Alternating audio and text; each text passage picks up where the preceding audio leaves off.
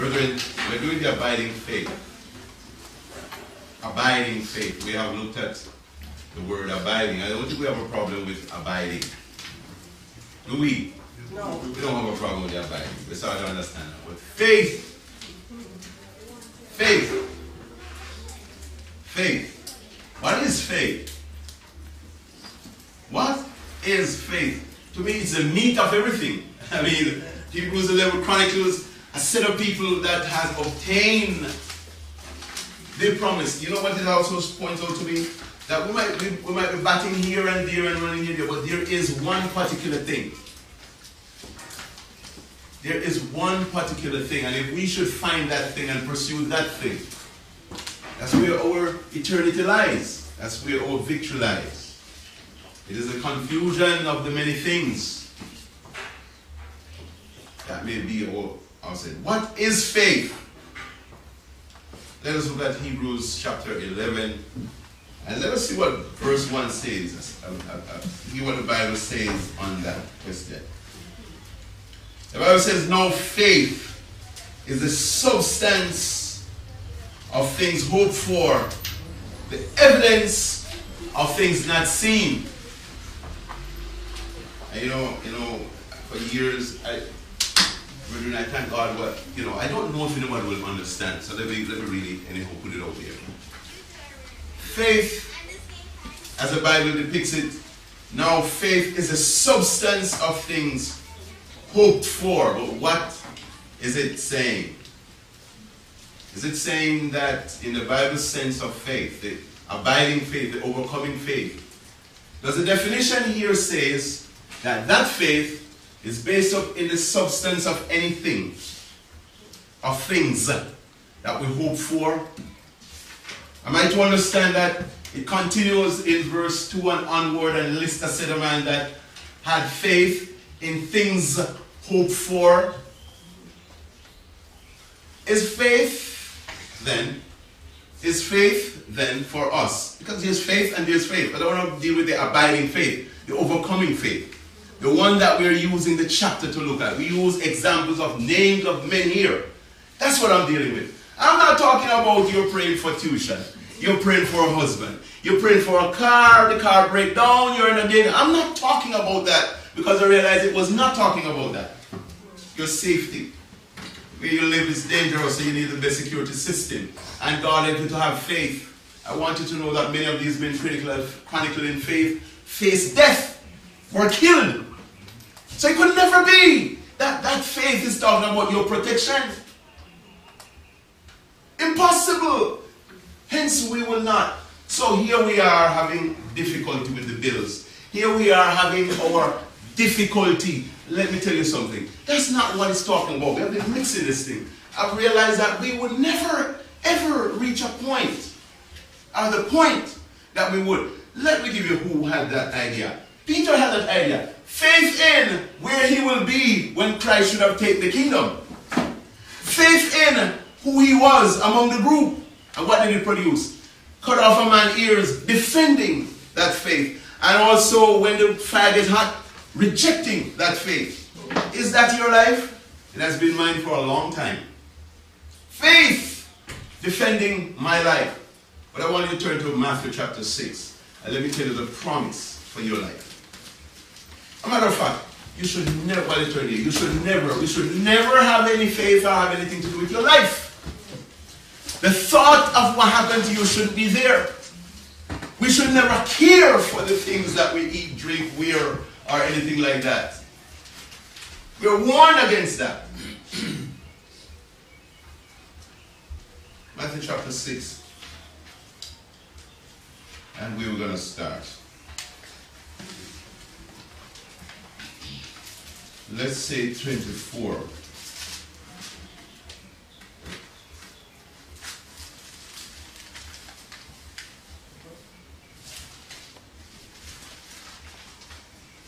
Matthew chapter 6, and start at verse 24 and hear what it says. No man can serve two masters, for either he will hate the other, or else he will hold to the one and despite that, he cannot serve God and mammon. Do you know what that's saying? You want me to actually actually say what it's saying in other words? It's saying you can't have two faith. You can't have faith in your food, your safety, and faith in God as your altar to be victorious. You're gonna hate one and love the other. We don't have to go far. A light bulb should pop in our head. That's our life. That's what happened. We neglect God a lot. God is neglected. And we secure the now and then. Our health. We don't want to have cancer, so we find all means of preventing. We don't want to be evicted, so we find all means of owning. We don't want to be uneducated, so we find all means of being educated.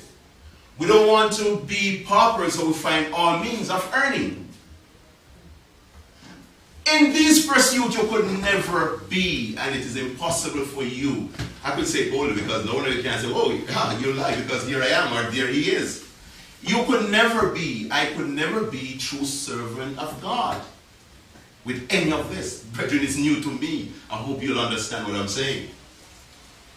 It is impossible. It is not hard you haven't tried. When Christ said to them, if you have faith as small as a mustard seed, you want to tell me you don't have greater faith than a lot of time? Be honest with yourself, haven't you?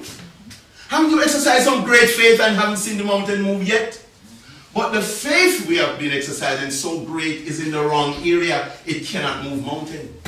And so we despise one and serve the other. Mammon here is represented in the whole affairs of our lives. Might not be the physical money. So we always think we are good because we are not rich. It is the rich is talking, those who handle money. But don't you realize a man who is rich who's handling money and you who have none are at the same place spiritually? So why haven't you gained anything? Why haven't I gained anything? Because faith here, it is not the same faith that Abel exercised. It's the same faith we have to exercise. So how then my faith is in my safety, my security. God keeps me and will keep me. Brethren, my faith is strong, so I'm securing myself. I'm protecting myself. That shouldn't have been my desire and my ambition because it wasn't Abel's. He didn't run away from the brother want to slay him. It wasn't Stephen's. Stevens didn't try to object. Yes, my brother. I'm not sure that everybody understanding what you're saying. Um, because everybody is quiet. Yes. I'm going to open to them. So. But I, um, I was just reading a statement just this morning from a guy named George Orwell that said, in the midst of deceit, if truth is spoken, it will cause a revolution. Have you read that? No, but I believe that. Right, and I realize if, if everybody understands what you're saying, it might rub hard, yes. but it's the reality. Yes. Because the truth is, for all of us, we, are, we have been talking about faith, but the faith that we're talking about is what you're talking yes. about in our survival, in our day to day living, and not necessarily in the person. Right. That is which, is which is necessary for the reality that is coming. My brother, when this popped in my head last night, that's why I say it is just as something I'm seeing. I hope you will catch it. Well, let me let me understand it clearly. Yes. Are you saying for me to want you to own something? It's not right. No, man, that's not what I'm saying. I'm saying abiding faith. We're talking about overcoming. I hope the topic means for everyone here eternally. I hope it means I need to have this faith to be able to be counted as those chronicles in Hebrews 11. I hope that everybody's on that page. Good. Now I'm saying oftentimes or ever since that it has never been realized why. Haven't you had much more faith than what Christ asked of the disciples who couldn't cast out the demon from the boy? Mustard seed, the smallest seed ever. Haven't you had mustard seed faith yet? You, you mean none of us have had a mustard seed faith? So what is the problem? Yes, we have the ability to have faith, but where it's directed is where we're counseled it shouldn't have been. I'm talking to Christians now, I hope. I hope I'm talking to people who are talking about eternity. Mm. I hope I'm moving away from the mixture of our minds with things and world plus God. That will work. Mm. That's where mammon and God, you must reject one. Well, you want to know if you have a reject, rejected one? Can you be chronicled yet among those of Hebrews 11. If you can, then you have indeed chosen the right one. The reason why I cannot be chronicled there, because my faith, and I've prayed for it and I've exercised it so much, has been towards man. It's not talking about dollars. It's talking about my protection, my health, my well-being. That's where my faith has been, hoping God would have kept to provide, and so I will be this his child to go to heaven. Wrong. Absolutely wrong. So when we look at Matthew, let's read on in Matthew chapter from 24 on. Hear what it says. Therefore I say unto you, take no thought for your life. What is Christ saying here? Think about your life, but don't read so much. Or when you think about your life as Christian, do it in a way so that it's a blatant warning. It should not be on your mind. your life. You see, we, the disciples, had faith. You see, we have reached a point where we start having faith in the result of what a faithful life should produce. So when we pray for the blind, our faith is in the result. We want to see the eyes open. That's not bad, but it doesn't produce anything. Why You see, pray? pardon me? Why pray if you don't want to see the eyes open? No, listen. The point is, is that should be the objective. The objective should be, and it only works when there is faith as, Abel had faith. It is the same faith that Enoch had, we ought to have the same way. The results God will grant according to how He sees fit. You get what I'm saying? We're not praying for our well being. We should not be praying for our well being and our future. That's not the point here according to the Bible. I say it's new. And I know it might not be grasped for a while. I'm going to open. right? That's not what we're to be praying for according to the, the, the text. These things your Heavenly Father know. He goes as far as to say, listen, man, I can't show you a bird. I can't show you some flowers which are well taken care of. Don't you think I know that you need these things? Don't you think I know that? Don't you think I'm not capable enough as a father? So where should your faith be then? What should the praying be for? The praying should be for this. In the very promise that Abel had, that Enoch had, Enoch took it a little further than many. Enoch went as far in those days to say, Christ live in me, I please him. He took it a little farther than David. David did, his thing, but he had a faith in something that was promised. That's the only faith we can have that will produce anything. The faith in that God, through Jesus Christ, will dwell in me. And how we do that, how we measure it? Because it starts with Abel. What did Abel know to pray for before? The only thing was that the Redeemer. Isn't it true? The first sacrifice, the sacrifice. He didn't pray for the fire. He, he prayed according to the promise. And God answers his prayer with the fire. You get the point? Hmm. Are we getting it? It is his faith for what God says he's living up to. As a result of that, fire came and consumed his offering. Right. The brother was praying outside of that, not praying that the promise will come and dwell with him because there was no blood. Saying that he has out Christ. Christ was not in his thing, but he was a good church person. He obeyed the Lord. He presented what he had. But God had asked for something. He presented what he had, the best of what he had, to the point where he was upset when nothing happened. But he had faith in man, his own idea, his own benefits. And so God could never answer his prayer with fire. Could never ratify it. It's the same faith. I'm going to open them. It's the same faith we have to have today. But we have grown to a place where our faith is in many things, good things. Don't get me wrong, in many good things. But you might not feel well about what I'm saying, but it has produced nothing. Use the very evidence of what our faith to realize that there might be something wrong.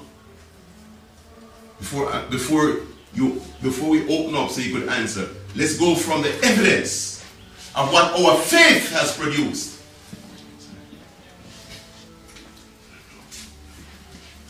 Right? The evidence. Or else you will have to stop this morning. We'll have to conclude that God has misled us somewhere. Alright? The asking is beyond us. He has misled us somewhere in terms of faith.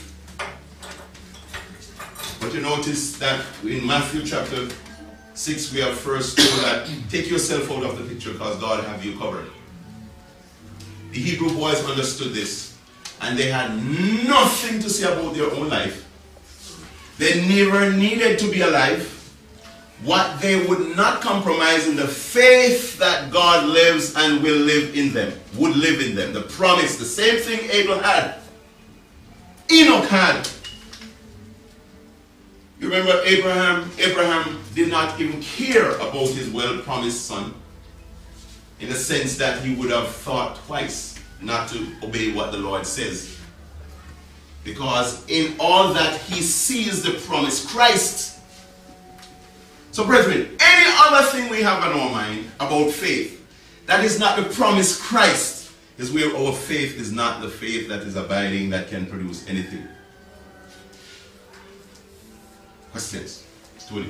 is substituted um, Abraham, like these men who have cemented their faith in God. Mhm. They um, were sh- they were so secure in their belief that there uh, um, nothing else mattered. They, they, their relationship that when Abraham was asked to sacrifice his son, he never thought about it twice because he knew confidently who he was talking to. And what about the knowing? What about that? And I'm saying then that because he knew, right, Mhm. he was secure. Security is something that faith brings. Alright? Today, we human beings, mankind, modern living, have substituted that faith to man-made devices, man-made understanding of securing yourself. And you mentioned mam- mammon, you mentioned the things that make people se- se- secure in this life. But in doing that, they have, they have actually substituted and pushed true faith out of the picture.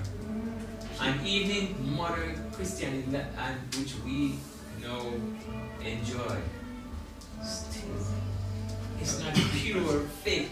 So I, I, I hope you're not saying though that people today who ask don't know whom they're asking and don't know. No, I'm not saying that. I'm speaking broadly. Right. We're not saying Christians don't know God and not asking of God. Right. But we realize that there's not a respond Right. in, in, in, in equal to the promise. Is we all can say that. Is that true? There's not a response to our life according to the promise, right? And that's and that's so. But what happened to them while they're asking, and Christ even said, "Look, you don't even have to go so far. If the faith in the right direction is as small as a mustard seed, it will move mountain." If you have faith at all, it then then um, nothing can can sway you from what you know to be true. You, you, you see, you, see- you see that, and um, and that's where that's my thought, my original thought. But I'm sort of dragging your mind, Tony, because that's the same old talk. That if you, you just need to have faith, and more faith, and brethren, if you just have faith, and and that's has been good. It has kept us from another group, right? We could have been in the streets doing other things. It has been, it has served a purpose. But is it serving an eternal purpose? How many of us sitting here hoping that if Christ comes now we'll be saved, and even though we might not be? Forget about coming. Because that is the benefit of all, that's the culmination. How many of us right now have people suffering and can't help? How many of us right now that the drug company is somewhere making medicine knowing that you are the first customer or you will always supply the um, yes. When we have a God who says otherwise, how many of us sitting here right now? How many of us in this room? All of us. I could. Well, for me, I could. Who have been very hypocritical in my belief because it's not happening. I'm pursuing. How many of us right now? People won't follow me. My friends, some of them won't Because as one person told me, you know, the thing that I am running down, the rich man have it, he don't see, he doesn't need my God. Mm-hmm. Mm-hmm.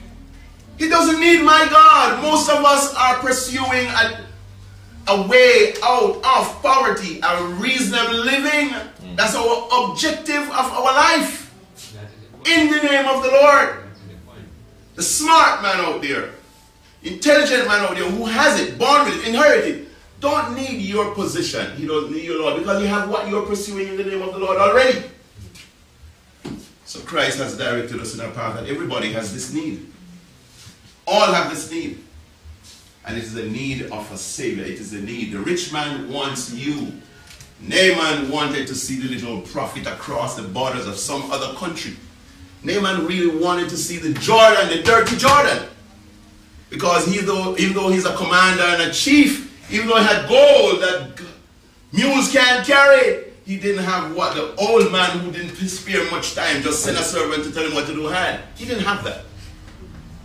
That was a Christian. That was a man of God. That's a man of faith. Mm-hmm. That's the faith I'm talking about. Are we grasping now that we don't have the faith? Are we, are we getting it? Are we going around the same beautiful thing of faith? And so Moses had faith, and so David, and so so we need to have faith now. Let's go there tomorrow and have faith. That's why the rent didn't pay. That's why we need to have some more faith. Are we still looking there? Are you understanding what I'm saying? That's the point I'm making. I'm saying Your nakedness don't matter to God. Your death is not his big thing. It wasn't a big thing when, when Steve was stoned. It wasn't a big thing when Cain killed Abel. It wasn't a big thing when Abel was chronicled as he was speaking today because of faith. But our faith is turning the opposite direction. Our faith is that we will never suffer the consequence or the thing that Abel suffered. We want God to keep us above that. Who's understanding? Who is understanding what faith is? Then you see now if you have the right faith, you don't need the size of a mustard seed. You realize now? That's what we need. Faith, not one that wants your head to feel better. God says, don't worry about you. You're serving mammon and God, you're going to reject one and love the other. Most time it's God rejected. Yes, my brother. I'm, sure there are probably some other other folks before me, but um, since nobody hand is up, um, I, I've looked at that mustard seed. You you said it is the smallest of all seeds, and and I don't necessarily agree. But here's something that that that, that opened up to me recently. You ever look, look at a callaloo seed? Yes. A mustard seed can compare to a callaloo seed. I never seen a mustard seed, you know. Right, I've seen I've seen different varieties of it, but it's nothing to compare, excepting in this one instant. And um, this just jumped out at me because it was it is the smallest seed that produced such great result. Don't forget that. That's the point. It's not just the size of the seed. It's, it's the it's what the size of the seed produces. Why Jesus mentions it. Praise the Lord. All right, so keep that Praise in mind. Amen. So in our 40, 50, 60 years and 70 for those who think they'll get there and even 80, do you think in that lifetime you're going to grow enough faith? Don't you realize by your first faith you're taught as a child is to get to school without accident. By the time you move to that, there's another faith. And all these faith that you have been bred in, all this understanding of faith is your own preservation. It's your own well-being in the name of the Lord. But the human mind and the human psyche were built not to take too much lies. So why do you think we kick it out sometimes? Why do you think we prefer have some party sometimes? Because that's a real thing. When you're in the world, it's real. There's no controversy in the world. You're in the world. You're not fooling anybody. You're not playing anything. You're in the world. You enjoy it have its pleasures. You enjoy it. But in the Christian faith, in the Christian faith, faith, there has been a lot of ups and downs and deception. Blatant deception, misunderstanding. Because we have become madmen. We're doing things the same way over mm-hmm. and over and wouldn't even investigate why we're not having a mm-hmm. different result. We wouldn't even look at that. We are so bred that we, we, we, we are, it's, it's blasphemous to look at why I'm not overcoming. It is a blasphemy to question God and why you say that and it's not happening. Not even for mm-hmm. myself, but for people I know who are more faithful than I am. What is your point? My time is running out. Is it in me or not? Why are you giving me the life of men who have obtained it? and what for me seems like is a generational thing. What is your point, God? What is your point in the word? We wouldn't even do that. If we would, he would have said, All right, my child, let me show you something. It seems like you're ready to know something. We would have looked beyond. So, brethren, faith, abiding faith. This is not to abide in asking for the same thing so that the children may make it out, so that the marriage may work, so that the job will hold, so that the disease will go or never come. That's not it, according to my Bible. That's not it. That's not it. You, want, you know what it seems like they're saying? The son of a millionaire is having faith to make sure that he gets some dinner every night. The son of the man who holds a position in his hand and has no problem with the son. But this son is acting like us as Christians, hoping that he will have something each day. What would you say of that son? What would you say of that son? The same thing you would say of yourself who have pursued and have made it in life and acting like you're a papa. Bastard. What would you say of that son? Bastard. But it's the same thing we could say of ourselves as Christians. Are you a child of God? Are you living by faith as you sing the song? Yes, you might have been. But do you realize that it's not? Are you honest enough? I am asking you because I ask myself these questions. And if it's otherwise, raise your hand and say, My brother, with me it's otherwise. Are you honest enough to realize that faith is producing nothing eternally? Are you honest enough? I say, if it's not so with you, raise your hands. In relation to what Christ has promised. In relation to what Christ has promised.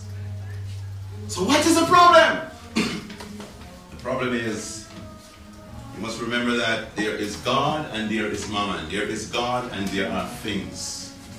Right? It's talking to you, child of God.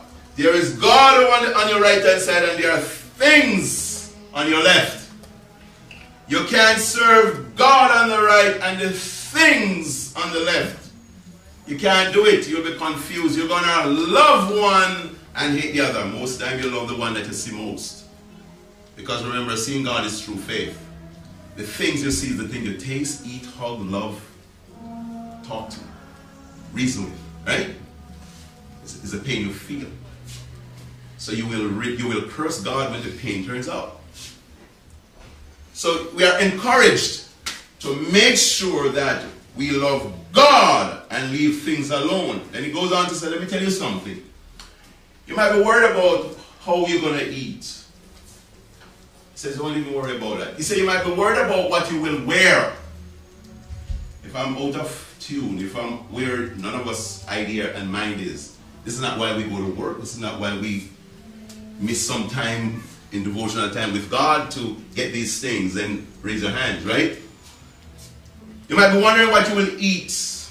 You're wondering how your bills will be paid. You might have looked around and read the statistic that many people are evicted because they didn't pay the bill. You might look on the streets and those who you see and know their situation, you have no desire going there, and all you need to do is to pursue something otherwise. All these might have been your thought, but the Bible says in Matthew chapter 6, it says, I want to tell you something. The wisest man and the richest man ever chronicled in the Bible was Solomon. And he says, when you look at what God does to the lily, to the grass and the bushes, which is today and is burned tomorrow, Solomon with all his money cannot dress like them. And it's a comforting thing to you and I to say that you don't have to worry about what you will put on. Mm-hmm. It goes on to say that you might be worried about your physical body. But the challenge is, let me see which one of you bad warriors ever add one cubit to your height. What else do we need to look into the picture and say, "Ah, you know what it is? And I want to show you how big it is. It is actually culture and it is actually embedded ideas and thought. What you and I worry about in this world today, some cultures don't worry about it. right? The clothes. In the in the Unza Valley, some people they don't even know what clothes is. Alright? So it's just to show that there is it is definitely a cultural persuasion that has that is mammon that really, really proves the Bible to be true. It's not a universal sway. Many of us might worry about the latest ride. But some countries don't. Because right now, the best way to get around in some countries, even the Amish country in the United States, they don't bother with cars, it's a donkey car. So they don't have that mentality of pushing to, you know, car payment, right? Mm. So it shows is that that's another testimony right now and then in our way, in our time. Well, some might be worried about pain and disease, right? right? We might have disease or disease growing, or and we have seen Miss full of people who died from disease. Well, well, I want to tell you that the Bible has said, and many today has been chronicled, where little faith has touched some people who have had worse disease than the one someone died, one is healed. But here is where our hands are tied because we are not going to spend a life pursuing the things of this world. It's just, I'm just cutting it I'm talking to me. I'm talking to me. I'm not going to spend my life, most of my life, pursuing, however ignorant or however I've known this. The bottom line is if I was just ignorantly wrong. I'm not going to spend my life pursuing most of my hours in these things that my society says is well. It's good. And then get the result that God offers and promises Abel, Enoch, Abraham. It's impossible. I have to join the line that they were in. And for them, they only had a pro- they only got a promise and they put faith in that promise. For me, it's a reality. I have the stories and the evidences that that one came, lived, and promised to live in me. Yes, my brother. I just wanted to say that you realize that, that Paul had to write about the icons of faith, which then were the people you mentioned Abel and Enoch and so on. I do mention those people because I have greater than they had. Right. What I have is Jesus and Paul and Peter. I have greater than those men had. Because um, honestly, could, could, you compare the faith of Jesus with any of those men no, in the Old Testament? Exactly. Could you compare the faith of Paul with any of those in the Old Testament? So I realize that when you read Hebrews, you have to understand Paul never had the New Testament that we have. Right. So Paul, all that Paul had are those icons that him all up David and all those people. Right. But when they come to New Testament and New Covenant people, they, they far exceed because the kingdom has now come and produces a far different quality. So that's why he said they they only got only received a promise. They didn't even get the real thing. Mm. No, it is not the fact that we have little faith, not enough faith. There's nothing wrong with our ability to have faith. Absolutely, that is intact. That was given by God and it's intact. The point is that I'm making, brethren, is that it has been used in the wrong way. Mm. So it has been mixing. Ingredients that we mix for faith to produce these great things are wrong. We're, we cannot mix mammon and God. We have to have one or the other. And if we have mammon, it produces what we have today a life that is always needing God. God is void. Today's day, we are reaching, you know, what we, I, I give thanks for Christianity because it keeps me safe, it keeps me from a lot of ill. Ill of my brother, because if Christianity has demanded that in order for me to be a Christian, I have to demonstrate it, and if not, I would have to pay a price. I would be dead. You understand? But Christianity keeps me not safe. All I need to tell you, I have faith in my heart for God. Life doesn't say it, nothing does it, but all I have to say, and you have to believe. you get what I'm saying? You have to believe. You have to believe. All I need to state is, all right, man. And guess what? I've reached a stage where I will make you start wonder and believe because my strive or my growth on the things of this world is start getting there. I own two houses now. I have Brethren, if you ever heard some story here, not recently, a guy told me how well he's doing, an Adventist. And you know, very, very, very, he's very, I can remember that, he's very thrifty. You know, I, I really applaud him for his financial um, Ability, ability, yeah. Yes, and um, but the point is, he never stopped to say that, Bridget, brother, and me and my wife, that never my tithe and offerings are sure, and we never envy. What he's saying is that one of the blessings or one of the means through which he is, and I do know honestly that my brother, like I need prayers, spiritual, you know, to grow. I know that. But what he's saying is that if because he has been very faithful with his tithe and his offering, God bless it is an evidence that the things he has. So that has been what is he saying to me? What is he telling himself? That it is a faith in the mammon, in these things that has afforded him these material things. Anybody understand what I'm saying? Mm. Brother Billy, think you're getting anything what I'm saying? Listen, we need to redirect the same faith we have because Peter, um, I'm going to say Lord, Peter and the rest are who? No, the disciples who were at the foot of the Mount of the Transfiguration, who had great faith and take on the task to cast out the devil out of the little boy field. And they tried and they failed and they grinch and they wonder. Christ came and tell them one thing, oh, you have little faith. Which is to say that you have no faith in what you should have faith. And if you should have enough faith in that as a mustard seed, it would have happened. When that same that same set of people, people's faith was redirected, Brother Lloyd, it were the same ones now who raised the dead, who did marvelous things after Christ has left them and has empowered them. He didn't give them new faith. They had faith, but redirected, the same faith redirected. I'm proposing to the class that what happened to us on faith, the abiding faith, it needs a redirection entirely. We are getting there now, and I know we have partially. That's why we're here as Christians, right? But the reason why we must always check our own temperature, our spiritual temperature, in according to the promise of God. Why we're not obtaining it, it's not on the part of God, it's on us. So if it's his faith that will produce this, as Christ says, maybe is a faith is redirected, needs a redirection. And the one I'm pointing in is the one that Abel had, that um, that Moses had as a boy, that his parents had. It had nothing to do with their bodily.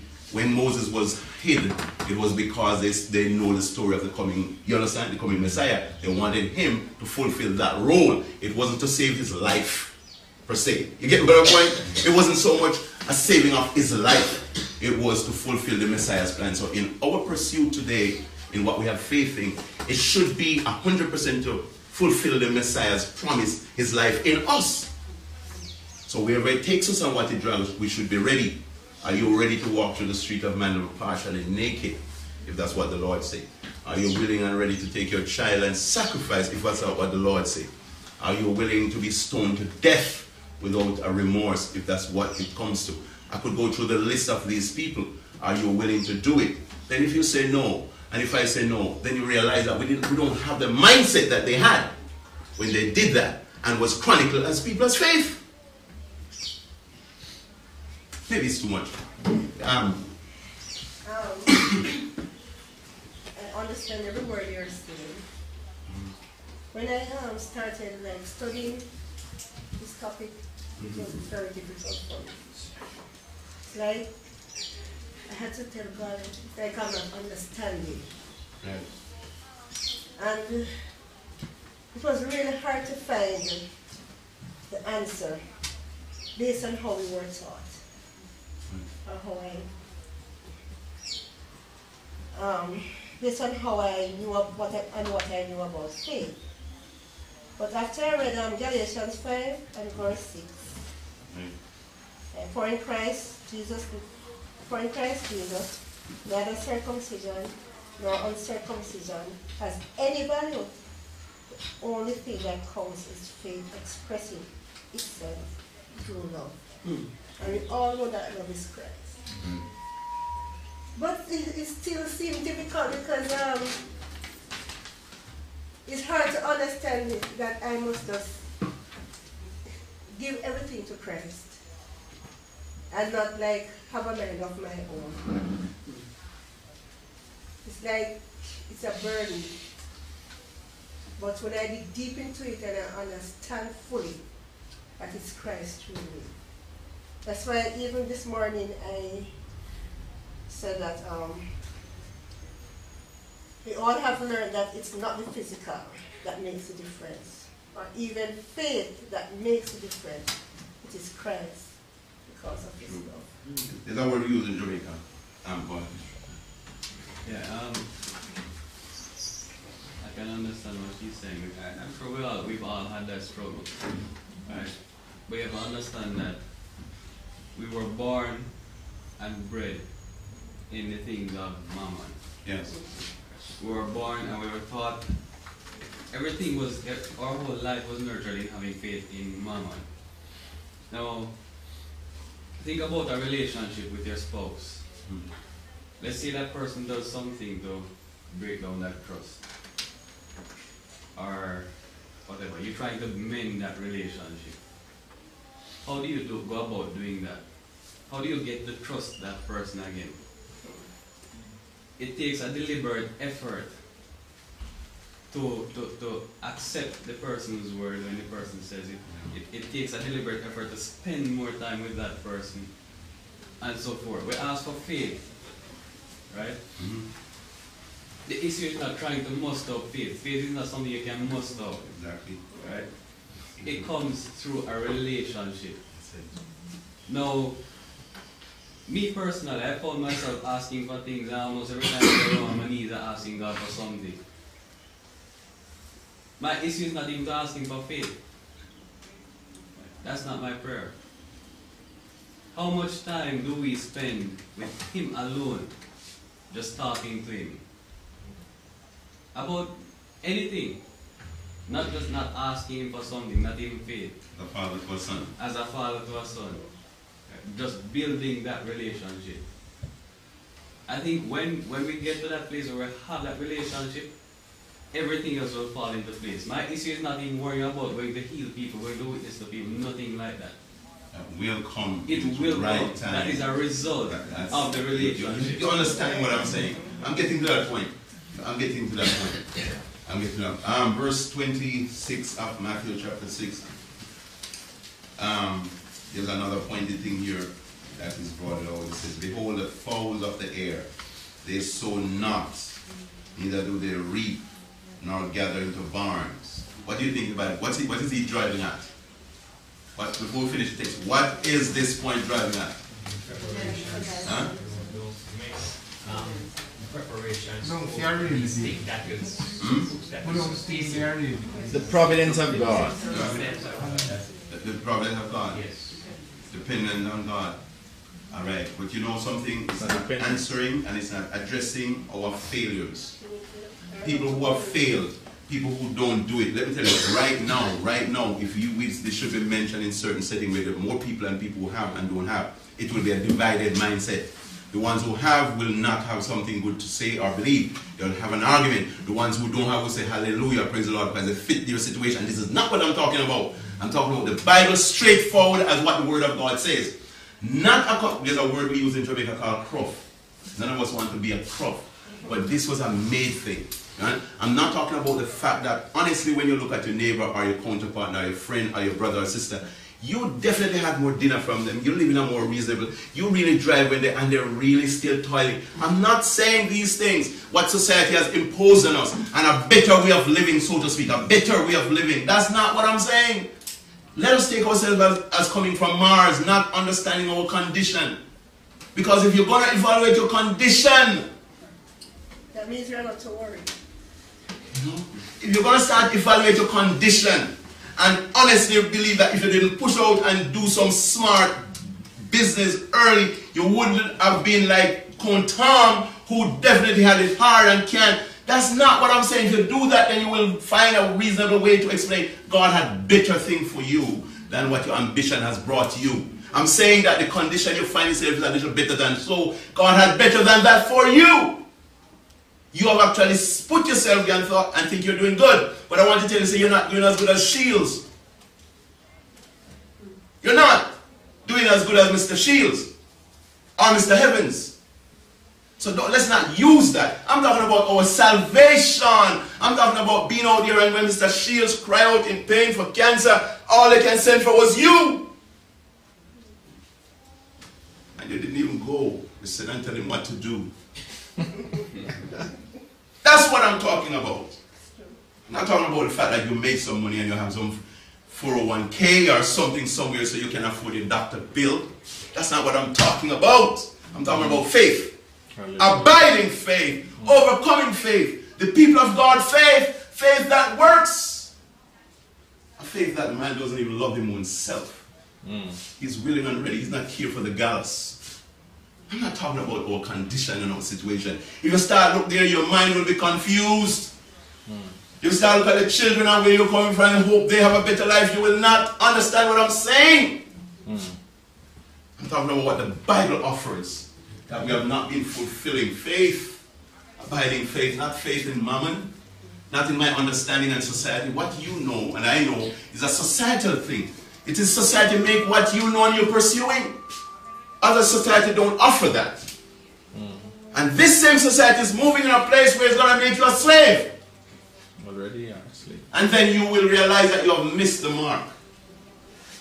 I'm not talking about our experiences. If you're going to use the experience you have, you will not understand what I'm saying. I'm talking about faith, Bible faith. Faith that moves mountain. The longing for action of God's people in this world. That's what I'm talking about. Let's go. Um, well, um, I'm, I'm getting what you're saying. And things that, um, when we hear a million one sermons on our faith, Yes. and things that I've never heard anybody, well, well probably looking at it quite like this. The thing is that society dictates to us everything. Yes. the clothes we wear, um, even more, even more church going, the, the way we operate at church and whatever, society dictates that Yes. very much. That- Every yes, single soul inside. Yes. And the thing is that society dictates to us that, um, look here, you must have something because the thing is that the neighbor who is not a Christian looking at you, who is a Yes. Christian, going, will, will say, I mean, how come you say you're a Christian and you're not better off? Right. How comes you not have certain things? I mean, how comes you have the same bills to pay and you have to be killing yourself Yes. to pay the bills? How comes you, you, um, you have to be killing yourself to pay the, the, um, the light bill, to um, send your children to school or whatever? All those things. Going to church, the same thing. Church, society dictates what you do at church. Yes. Everything. The thing is that, um, I mean, as you say, we have to redirect our Come back thoughts, to the word. our mind. Let's see if we can. I mean, yes. church. I've heard pastors preach and then preach about um, faith. Yes. And the thing is that as soon as they start preaching about faith, the prosperity thing comes in. Yes. You know, how much things you have, how much things God give you. Because you do this and because you do that, you get this. And I mean, I mean, I've never heard anyone say, as a matter of fact, in, in, in, in Hebrew, in reading Hebrew, almost everybody stop short when it comes to the last part of Hebrew, when they say those men live in caves and then go around in sheep's clothing and then go around in this. I've never heard anyone expound on that. They talk about um, the prosperity of faith. Having faith in God, yeah, I mean, just the good part. You have this, you have that. You are able to build this, you are able to ob- obtain that. I mean, all of these things. And I mean, well, as I say, we just get confused by society. Society confuses us, Yes. our church, with everything. Wait, go ahead. So uh, are you saying there's no to have faith? You cannot be prosperous in this life. let me answer that. The thing is that what we just read in, in Matthew, you see, Jesus never said we have to have faith to wear clothes. He never said we have to have faith to have anything because if we are His, what He's saying is that He'll take care of us. That is not where your faith should be directed. That Because is you have it. to have faith to have all of these What things. Christ is saying is that those are the non-essentials, and you should even be thinking Well, that- about that it. is what we what what we was call prosperity. What do we call prosperity? Um, You know, we don't even call good health prosperity because we eat, drink, and everything. What we call prosperity is physical, monetary, tangible thing. You know, Definitely. we, we- you know, it's a mix up of prosperity, and real prosperity is actually if you could live healthy enough. That if on a physical level, the real prospering person here is with age. They are aging gracefully in terms of health. That's a real thing. Because the one who thinks that monetary prosperity is when you hit with in today's day with one dose of disease, you're wiped out. Monetary, right? Just by testing, testing. Okay? So so that's a confusion. But what God is saying to us, to us, see, is that He says, "Af by having faith, I will give unto you what you need. Maybe it's death. No, we run from that because Abel, it was death. You understand? Maybe it's money. And Job, it is. Good. But maybe it is wealth. No, we love that one day. Because you understand what I'm saying? It can come. Yes, can come. yes, there's no re- so you know what I'm saying? No, because uh, not to, but you seem to be leaning more to, like, but there is the exception. Yes. God's people Right. can. What I'm not looking at is the reward that God gives. I'm looking at the faith we must have. Because too often we our faith swirls because we see the type of reward it will give. Too often we go to the degree because of the benefit. Maybe we understand that language better, right?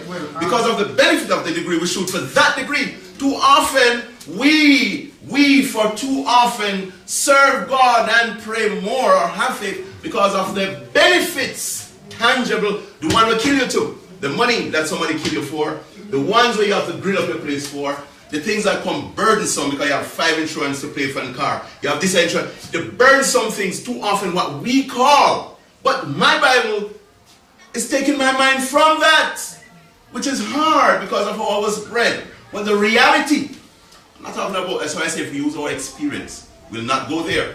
Um, The reality, I'm coming. The reality is this that it says that God said, Those are non essentials. Don't even think about it. I want to show you not even a big donkey or a big giraffe. I want to use a small bird. I want to use flowers to show you the insignificant, how well I take care of them. They have no soul, they have nothing but my love. Take care of them. You are created in my image. You are my child. Why are you trying to compare yourself with them? Why you think the things that makes you my child is what they possess? He said, look here, Solomon in all his wisdom.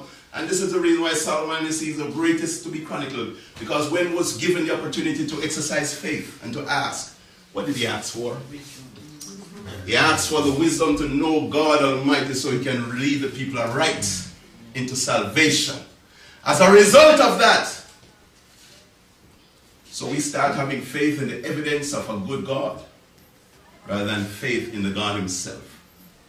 When we see the evidence of a good God, then we give God praise.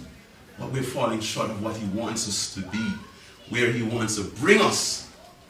Faith, brethren, is something a little different. It's new, it's strange to me. So bear with me. But it's getting my eyes out. Last night when I saw this, I said, Praise God. Praise God. I understand, brethren. I understand the situation. I understand.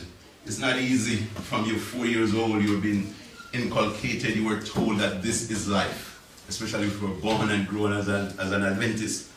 And now you are over how much years pursuing, and somebody this morning, insignificant, maybe misled, according to your idea, come tell you, say, this is not it. But one day, by God's grace, if we really mean it, you'll see what I'm saying. Just remember. Yes, my brother. Um, there's a statement that uh, um, I wrote in my book for many, many years. I, I saw this statement in a book, and it says that um, it's another, it's another, um, like the one in Hebrews 11. Mm-hmm. But it, it says that faith is the spiritual hand that touches infinity. Right. Can you elaborate on that a little bit for? Faith is a spiritual hand that touches infinity. Right. So faith is the spiritual hand that touches God. You know, I'm the statement is the statement is true because that's what we're saying.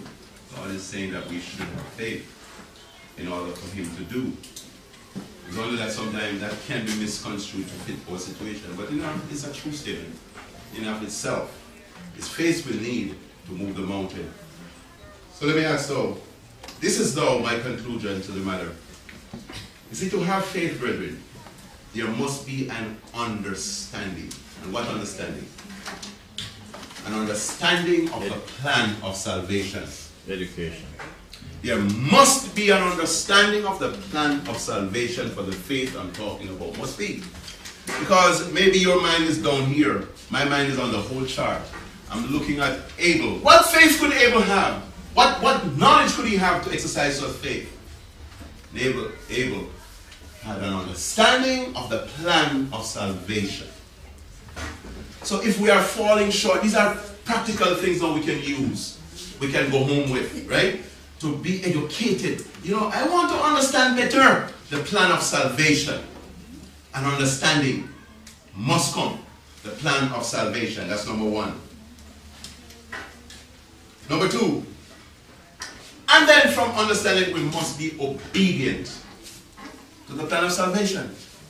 We must, obedience mean that I have no objective, no desire, no intention, not even to my own life I don't love, because the plan of salvation is preeminence in me. The plan of salvation, I understood it. When I say, what do I understand? I understand that God, the creator of the universe, saw me who has chose other than him. You know what he did? He did not cast me away. He, he, he looked at his son, his only begotten son, his only begotten son, and he says that my son, Maurice, needs you, a savior. And Christ could have said, look here, you, I mean, we just started, we can start again. Or, you know, he, he chose some other. Why me? Christ had the same mind his father had. He looked at me and he said, Maurice, need me. And God and his son came. Christ came in my stead. Christ came and lived. And even when he came and lived, I spat on him. I beat him. I kicked him out. I rejected him. The only little good he did that I like, he, he multiplied fish and bread and I ate it. And then I shouted, crucify him. And the father could have withdrew his plan because I was rebellious. I had no desire. Christ saw beyond my faults and he knew my needs. Understanding this plan of salvation, the love of God, that cannot be explained by my tongue. We have to know that and understand it.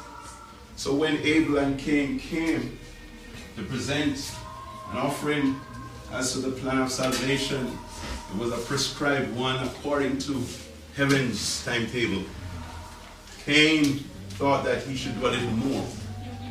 Something a little more than what God actually asks for.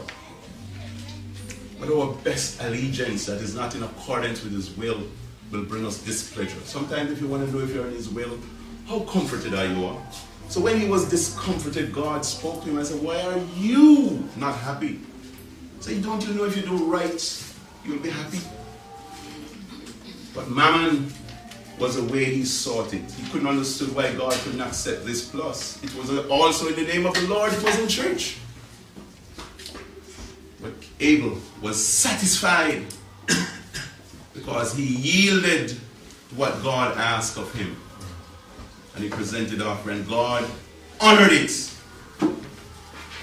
And his brother said, I'm going to kill you. And he didn't back away. I want to say it's, it's similar to Stephen's situation. Maybe some might say hide around a stone and hit him or whatever it might be. He knew because he stood up to death. He loved not his life to the death. It was not a hide and lick. He died for the gospel. That plan, you have to understand that. And then, when you understand it, you must obey it. Nothing in the world now could ever be more clamorous. And sometimes we get to that point, you know, brethren, what is when we're on a sick bed, when life has ended for us, cancer eating the body, then we decide to take the road that should have been when we were youth. We trust everything now to Him. Faith swirls. Faith now sets in. Now you could read to me Matthew chapter 6 with no qualms, I'll accept it. Because what is money to me? What is the plans of this world to me? I'm sick. I'm terminally ill. After we obey and understand that, brethren, then it should be. I, would, I could have continued, but time has run out. I want us to also look, though, in Hebrews chapter 11. And you will realize that these, to verse 4, verse 5, verse 8, verse 7, is it's it, it verse 9 you'll realize that all those are contrasts to verse 11 because verse 11 said through faith sarah. That's another issue. Brethren it's one thing. You must, you must not confuse what is by faith and what is through faith that's another issue we can't deal with that this morning but it's very significant. It was there. It is there for a reason. It's new. It's new, but I, I, I, I, I trust God that if we will look into it, think of ourselves, let us farm sick, let us farm terminally ill, and, and let us see if we could put our faith somewhere. I'm not saying that we should. What I'm offering is greater prosperity than we have been pursuing and having. Prosperity first in the spiritual that we have brought prosperity in the physical. The world will wonder after your God who provided for you, and they will wonder for your God who is a healing God in and through you. You get what I'm saying? But we have cut it short. We have only, only, the world can't even wonder after us. What we have? What do we have? Nada. We only fool ourselves and tell ourselves that we are doing well. We measure it and I don't know. You have to find, you know what it is? This way of faith help us to be very invisible against ourselves. You know who you measure your scale at? You could never go to Mr. Shields. you could never go to Mr. Heavens. You have to find somebody in your own family or in your peers to say you are better than them or like them. You see what you see what that faith does? It becomes antagonistic against your very own. What is doing well? What is prosperity? And we were asked the question, what is it? What is it? Couldn't be as to what? Prosperity is in Jesus Christ. Prosperity is in what we're just looking at. And I'm just saying to us that we have been robbing ourselves too long. It's not too late for us to regain our footage. Let us not look at our current situation. Let us have faith. Faith says this that we would have indeed take the substance and the evidence of the thing we prayed for. What are we praying for? We should be praying for the ability in us to fully represent Christ. That's what faith only should be. And so we should be living in this world as Christ living in us. That's what faith should be by faith. So Enoch took it to that level as a testimony against us. Enoch walk around like people should be doing today. And that's why Enoch was transported to heaven because he has exercised that faith to our level, even though he didn't have the indwelling Christ. But faith took him further than David. It took him to not to see death on this earth. I'm saying that's our place because we ought to be living, we can be living when Christ comes. To be translated alive. But the faith of Enoch is needed today. The faith of, you know, Adventists and today's world uh, um, portray the faith of Job. You know what they're talking about? Not Job in his fall. And they forgot Job's story. That's Lucifer saw it this way that Job has because he loved God. So God blessed him because. And so if God should take it away, he wouldn't anymore. But Job had an unswerving love and desire for the truth he heard and learned of Christ. Right? As a result of that, he anchored unto God that caused him to have that. And Lucifer saw it. And I want you to know that Lucifer, couldn't have been touched. Lucifer declared that he had an edge around him. And God said, You're kidding. You're looking at material things. I want to show you something. Let's remove the edge that you think and let us show you who Job really is. I'm just introducing to you Job in the downfall, Job before prosperity. Because they don't realize that Job had and lost and had again. What afforded him this? Faith, abiding faith in God. He didn't care about what he had. He said, Naked I come in this world, and naked I'm going back. Pray and I hope, trust and pray that this new thing that comes in my mind that has been a blessing. But I'm just looking at it. I hope you will look at it too, you know. I hope it will help you really, really come to the point where we can truly be seen in this world as faithful as those who are Christ.